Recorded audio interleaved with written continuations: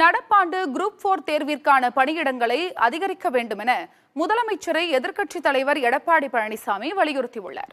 இது தொடர்பாக தனது எக்ஸ்தல பக்கத்தில் பதிவிட்டுள்ள அவர் அரசு அலுவலகங்களில் உள்ள மூன்று லட்சத்து ஐம்பதாயிரம் காலி பணியிடங்கள் நிரப்பப்படும் என திமுக தேர்தல் வாக்குறுதி அளித்ததாக கூறியுள்ளார்.